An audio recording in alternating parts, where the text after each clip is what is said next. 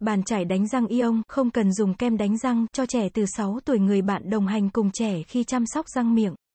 Bàn chải đánh răng Ion cho trẻ từ 6 tuổi là lựa chọn hàng đầu của nhiều bà mẹ Việt. Bàn chải được sản xuất tại Nhật Bản. Đảm bảo tiêu chí an toàn chất lượng, lông bàn chải chứa bột quặng tự nhiên, tự động sản sinh ra ion âm làm sạch răng mà không cần dùng kem đánh răng. Có khả năng đánh sạch mảng bám cao hơn so với bàn chải thường khi dùng kem đánh răng, lông bàn chải có chất kháng khuẩn giúp bàn chải luôn sạch sẽ. Do không cần dùng kem đánh răng nên rất an toàn cho bé, không lo bé bị nuốt kem đánh răng khi sử dụng, đầu bàn chải nhỏ vừa miệng bé. Giúp bé chải răng nhẹ nhàng hiệu quả, không lo tổn thương nướu, đặc biệt, bàn chải có cán cầm chống trơn tay cho bé.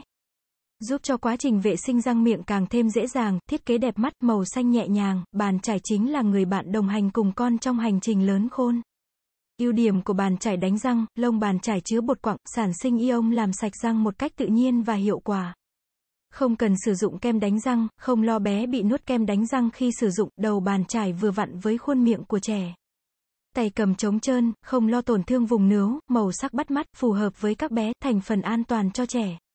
Lông bàn chải chứa bột quặng tự nhiên, an toàn cho sức khỏe của trẻ, tay cầm bằng nhựa chắc chắn, chống trơn trượt hiệu quả. Đối tượng sử dụng, dành cho trẻ em từ 6 tuổi trở lên, giúp bé vệ sinh răng miệng một cách dễ dàng.